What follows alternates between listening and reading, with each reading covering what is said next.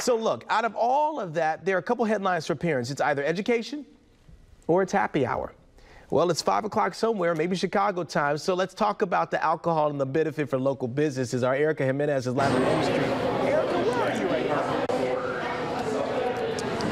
I'm at O'Rourke's, and let me just tell you, Josh, that this band has a lot of people happy at this hour, if you catch my drift. We're definitely excited about it, and we've been counting down the days till July 1st. The countdown is over, and happy hour has made its way back to Indiana. Business owners are hopeful this is going to provide a financial boost just in time for the summer. Usually the middle of the day is slow for us, so from 3 to 6, Monday through Friday, we're going to have a daily food and drink special for our happy hour. If you remember, state representatives passed the ban on happy hour in 1985 as a way to reduce drunk driving. That's according to our reporting partners at WTHR. Although the ban is gone, there are still some regulations that bars and restaurants must follow.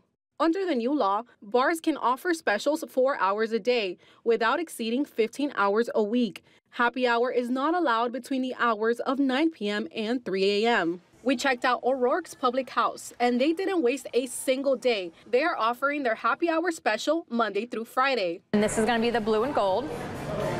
So we have blue curaçao. We have pearl blueberry vodka, sour mix, and then lemonade. That gets a lemon.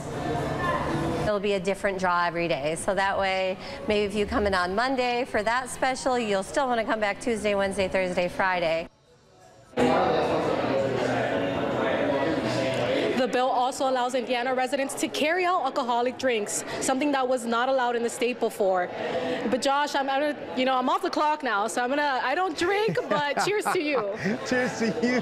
Cheers to you, my friend. Uh, Erica Jimenez, we see you. We appreciate you as well. Thank you for Street here. Really busy right now. Hey, happening now. Family fun and